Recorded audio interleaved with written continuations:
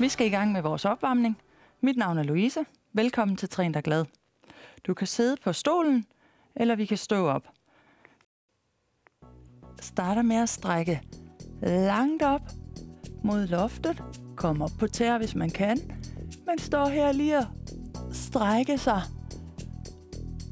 Eller sidde på stolen og strække op. Sidde ude på kanten af stolen, ude, ude på, på sædet der, fremme på sædet, uden at bruge ryglænet.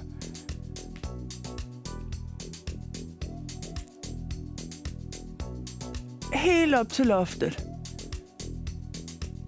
Herfra falder vi ned til gulvet her. Lige ruller sammen her. Og så ryster man lige nakken og ryster armene hernede. Ruller op, vivl for vivl. En gang til. Nå højt op. Stræk op. Langt op til loftet her. Og lige om lidt, så skal vi ned til gulvet her. Fum! Shup! Så falder vi lige ned og ryster nakken, ryster armene. Bliv hernede lige lidt. Og så ruller vi op. Ja, gå på stedet.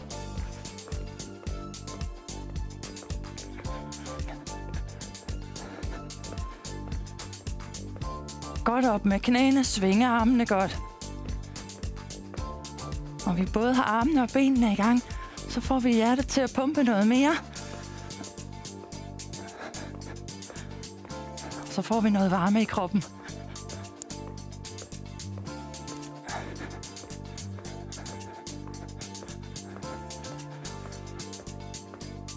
Ja, albuerne ud her. En arm op og en arm ned. Uden at blive helt skilløjt. Benene går stadigvæk på stedet. Armene vipper. Og man kan også lige kigge ud til den arm, som er oppe. Skuldrene roterer her. Vi får lidt gang i vores skulderled. Ja, slip armene. V-step tilbage, tilbage, frem, frem.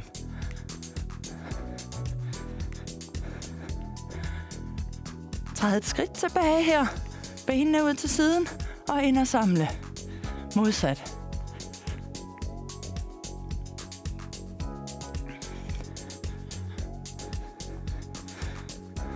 Kniber det med balancen, så går man på stedet.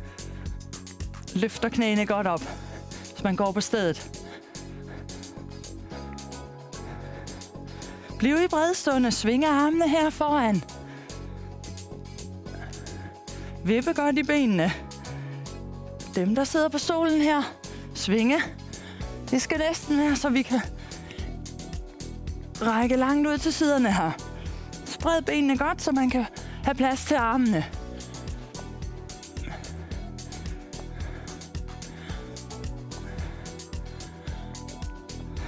Og vi tegner en slange her med armene langt op. Langt ud til siderne. Langt ned og helt ned til gulvet. Langt op. Ud til siderne.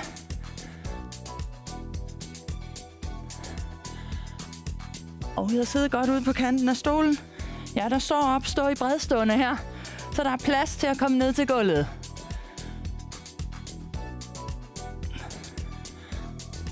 I mærk, at ryggen den bruges her i alle leder og kanter, når vi er oppe og ude og rundt.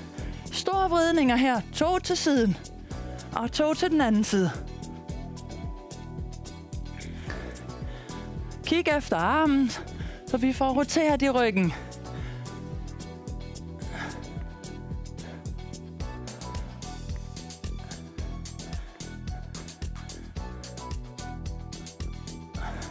Og hvis man er stående, er man i en stor bredstående, mens man roterer rundt her i kroppen.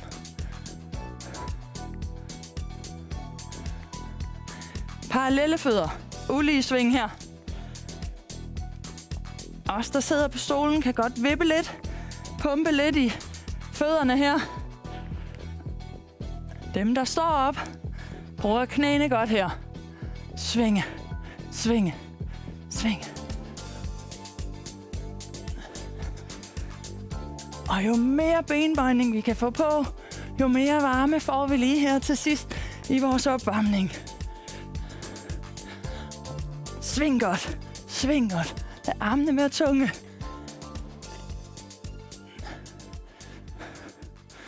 Så fik vi varmet kroppen op.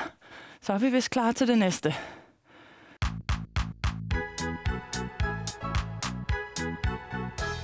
Til vores muskeltræning i dag kan vi fint bruge nogle flasker eller en lille håndvægt, hvis man har det. Har man ikke nogen vægt, kan man også fint bruge sin knyttede næve her til den første øvelse.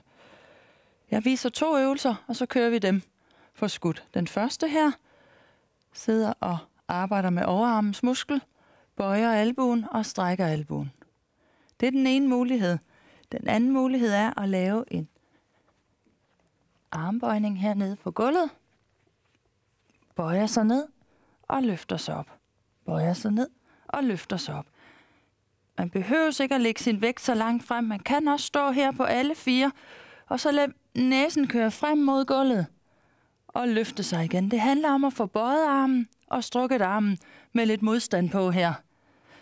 Der er flere muligheder. Den anden øvelse, et muskeltræning for bagsiden her. Sidde på stolen og tryk hælen ned i gulvet skiftevis her. Så får vi spænding på bagsiden. Eller løft hoften frem her. Frem med hoften her. Spænde ballerne. Så får vi også brugt bagsidens muskler her. Alternativ til den er et bækkenløft ned på gulvet. Den tager jeg. Den starter vi med enten sidde på stolen eller bækkenløftet hernede. Vi kører. Løfter op her. Og ned igen. Løfter op. Og sænker ned. Løfter op. Sænker ned. Hvis du sidder på stolen, så husk at trykke den ene hæl i. Skifte. Tryk den anden hæl i. Eller løfte frem med hoften oppe på stolen.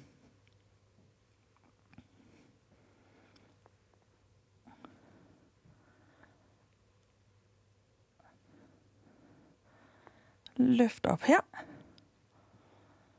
Og løft op. Løft godt op, spænd ballerne.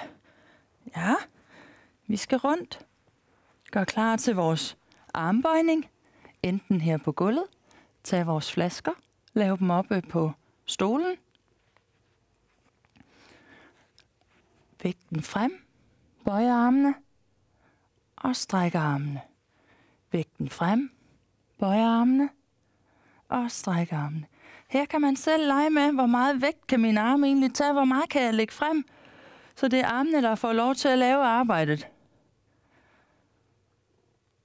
Det er vigtigt at få noget vægt frem på hænderne, og så skubbe sig op og ned her. Langsomt op og ned. Alternativt kan jeg også lade bagdelen gå ned her, og så lade vægten kører ned imellem armene her. Åh, der var der heldigvis lige en lille pause der. Så skal vi have valgt enten et bækkenløft igen, eller sidde på stolen. Og lave en af de to andre løft, jeg startede med at vise. Løft op her. Eventuelt lige løfte det ene ben. Og løfte det andet ben. Og sænke ned. Løft op, spænd ballerne. Løft det ene ben. Og det andet ben. Og sænke ned. Løft op. Det ene ben. Og det andet ben. Og ned. Løft op her. Ja, bliv ved med at ligge og arbejde. Jeg der har valgt bækkenløftet på gulvet her. Løft op. Løft det ene ben og det andet ben. Tryk hælen i heroppe og ned. Dem som sidder. Det kunne være den version. Ja, super godt. Tag flaskerne her. Kør en bicepsøvelse. Eller brug stolen her som en mulighed til også at lave sin armbøjning og sin armstrækning. Armbøjning, armstrækning.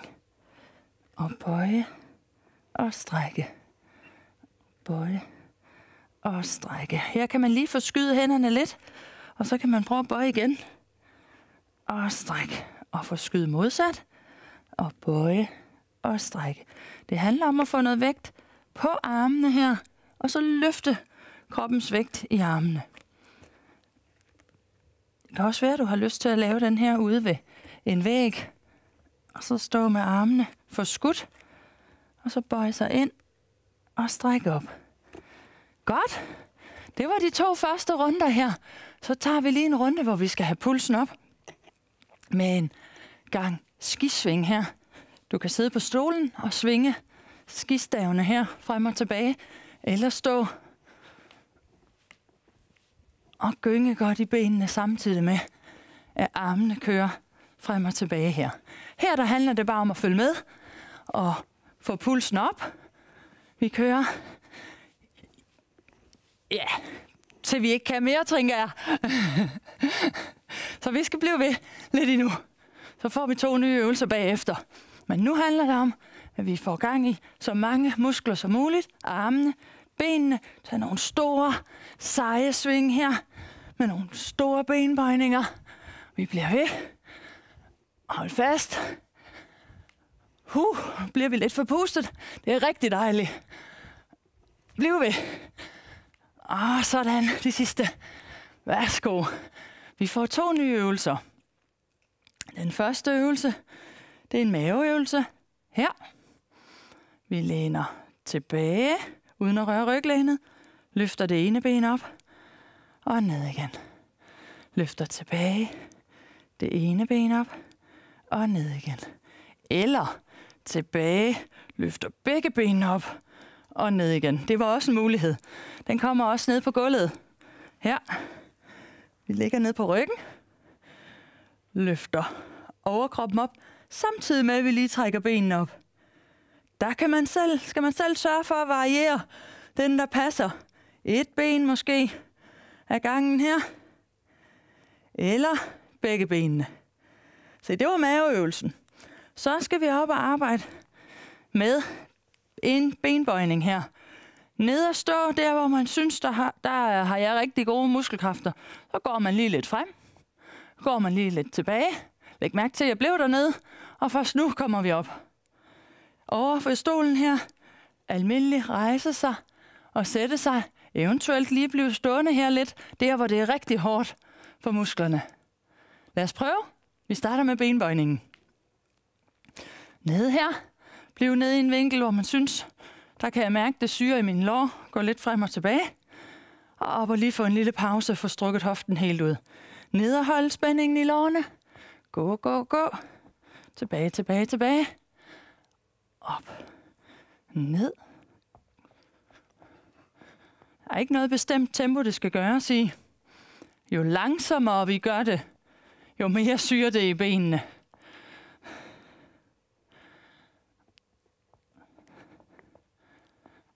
Så høj, find et tempo, der passer til dig.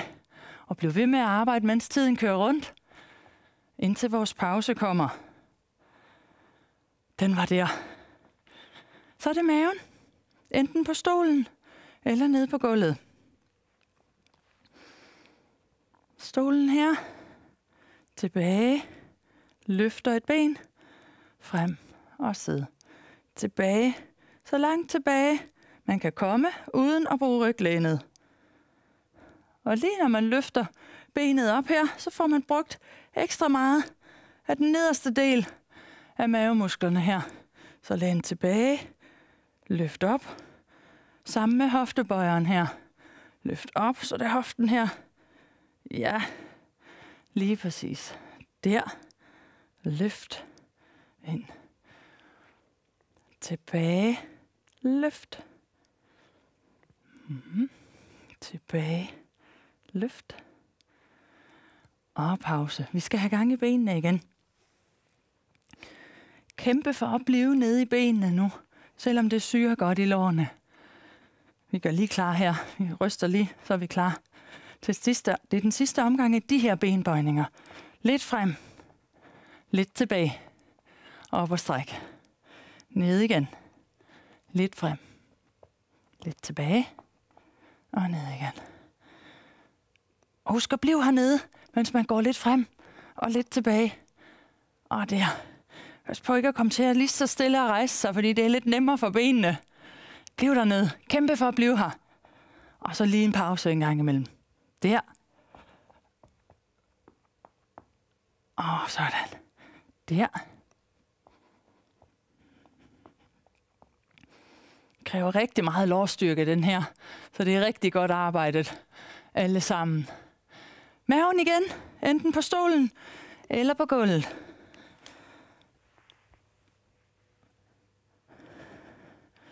Løfter op her, eventuelt et ben ad gangen.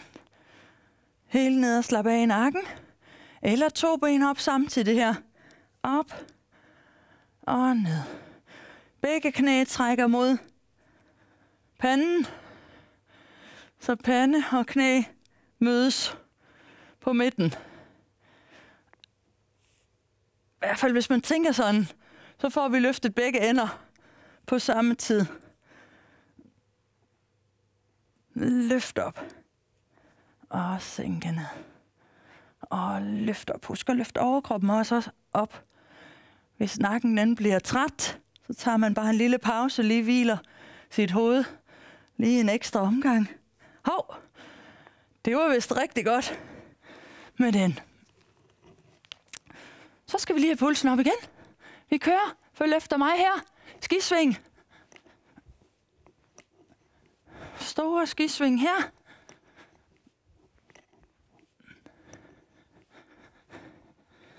Prøv at stille benene, så vi tager et, et skridt sådan frem og tilbage her, og så kører vi igen vores skisving med armene her. Så stor sving. Tag en godt træk. Frem og tilbage. Frem og tilbage. Åh, vi skal have det andet ben også. Frem og tilbage her. Sagtens sidde på stolen og lave den samme. Sving godt med armene her. Kan I mærke, det begynder at hjælpe? At man bliver lidt forpustet? Det kan jeg i hvert fald mærke. Det er rigtig dejligt. Den er rigtig god for hele kroppen. Vi skal have lige fart på her de sidste par sekunder. Så meget fart som muligt. Ja, vi får to nye øvelser. De to sidste af vores muskeltræningsøvelser for i dag. Vi skal ud til siden, gribe vores vægt herude og tilbage ind i midten. Ud til siden og ind i midten. Ud til siden og ind i midten og ud til siden. Det er det ben her, der er det bøjet knæ, det er det, der tager vægten, og det, der flytter mig ind på plads igen ved at skubbe afsted. Det kombinerer vi med en balanceøvelse. Stå her. Hold balancen. Spænd ballen. Eventuelt slip med armene. Ind igen. Stå her. Spænd i ballen for at få benet derom. Så langt om. Det var den høje udgave så kan vi prøve at arbejde med den lave udgave og så balancen, mens vi kører. Første runde, benøvelsen. Ud til siden, og ind. Ud til siden, og ind. Ud til siden, ind.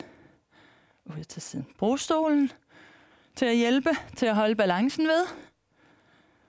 Eller hvis man synes, det kører da rigtig godt for mig det her, så kunne man jo lige tage sin vægte her, hvis man kan holde balancen til det. Og ud til siden. Og op. Det er det bøjet ben herude, der holder mig. Og skubber mig tilbage. Ud. Og tilbage. Langt udfald her. Og tilbage. Langt udfald. Og skub tilbage.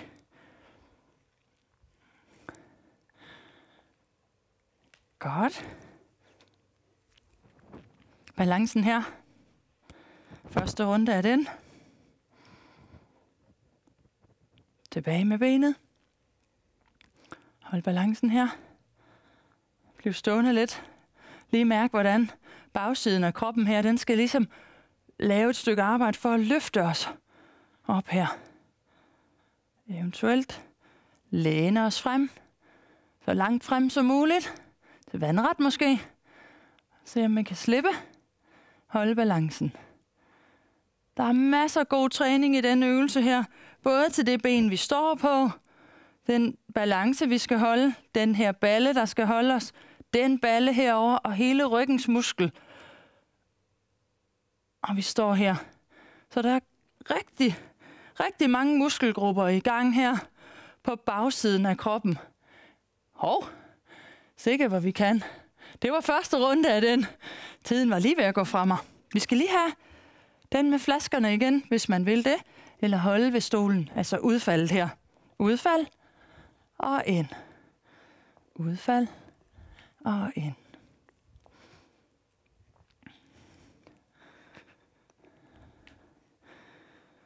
Oj, jeg kan mærke, at vi har brugt benene rigtig godt i dag. Det begynder at blive lidt hårdt i lårene her. Hold den i låret. Skub fra. Hold den i låret. Skub fra. Det er rigtig godt arbejdet. Det er dejligt, at vi kan mærke, at vi har lavet noget.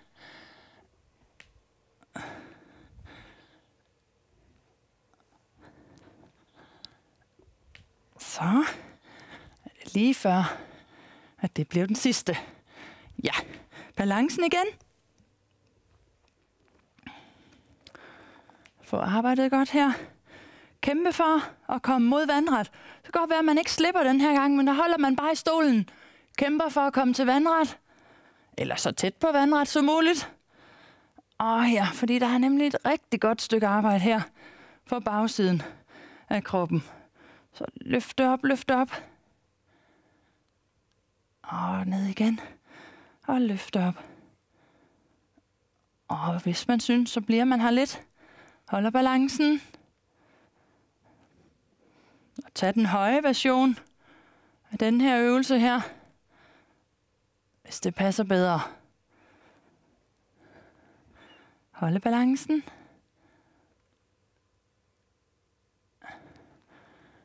Sidste gang.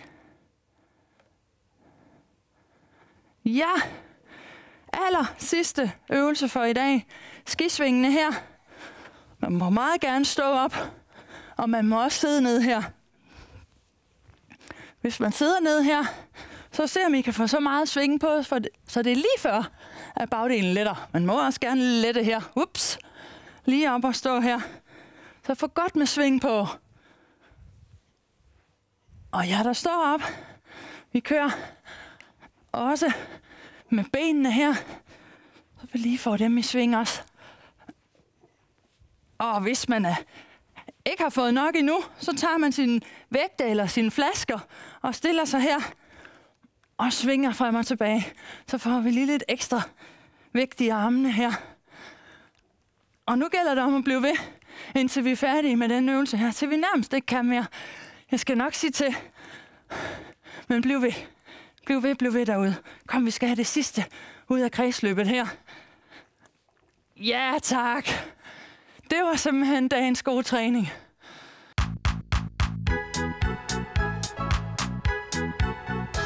Ja, vi slutter dagen af med et par stræk. Stræk for låret her. Foden op på stolen. Hold hoften langt oppe, så man får et stræk på låret. Enten i den version her, eller den version, hvor man lige tager foden op, får fat i skoen, eller får fat i strømpen, eller hvor man nu kan få fat. Holder strækket her, skubber hoften lidt frem, trækker knæet tilbage.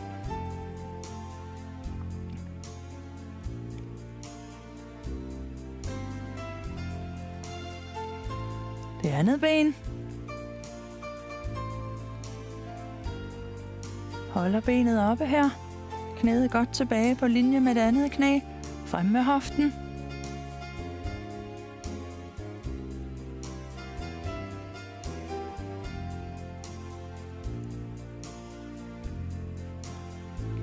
Strækker vi for ballen også. Sid enten ned på gulvet eller her på stolen. Tag det ene ben op over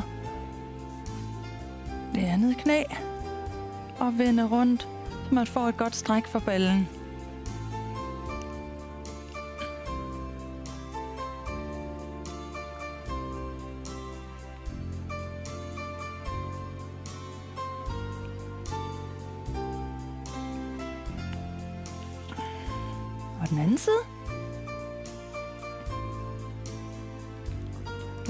Dreje med rundt her.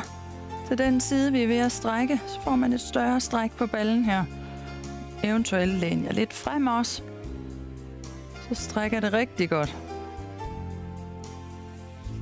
Trækker vejret ind. Strækker armene langt tilbage her. Stort stræk på brystkassen her. Trækker vejret ind. Og langt tilbage med armene.